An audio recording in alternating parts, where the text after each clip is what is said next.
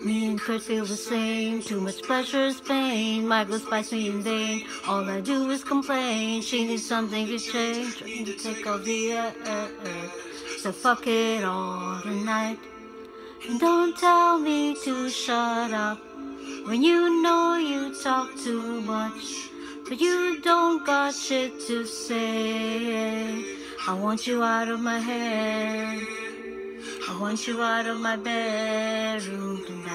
There's no way I could save you. Cause I need to be saved too. I'm no good at goodbyes.